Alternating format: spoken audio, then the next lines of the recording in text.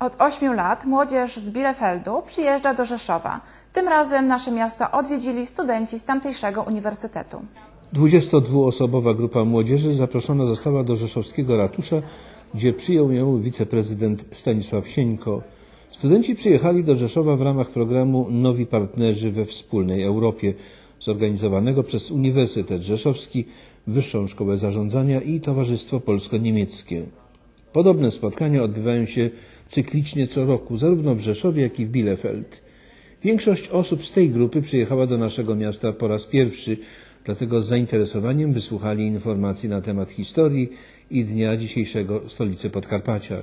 Z kolei niemieccy goście przygotowali prezentację multimedialną na temat swojego grodu.